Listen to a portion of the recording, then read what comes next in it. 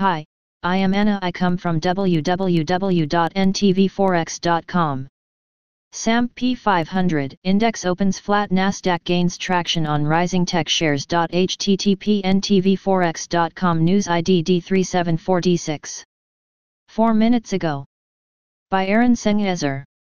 SAMP P500 starts new week flat following Friday's drop. Amazon and Apple lift technology shares on Monday. Durable goods orders data from US failed to provide a boost to sentiment.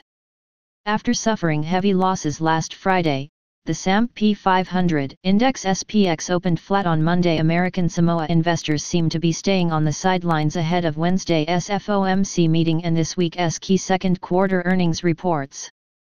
As of writing, the SAMP P500 was up 0.2% on the day at 3,220, the Dow Jones Industrial Average DJI was virtually unchanged at 26,474 and the Nasdaq Composite IXIC was gaining 1% at 10,471.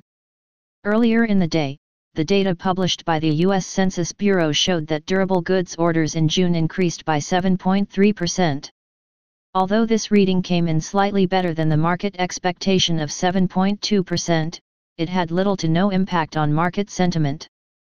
Among the 11 major SAMP P500 sectors, the technology index is up 1.05% on the day, fueling the tech-sensitive IXICS rally. Amazon.com Inc. AMZN and Apple Inc. AAPL shares are gaining around 2.5% in the early trade. On the other hand, slumping Treasury bond yields continue to weigh on financial shares. At the moment, the financials index is down 1.5% as the worst performing major sector.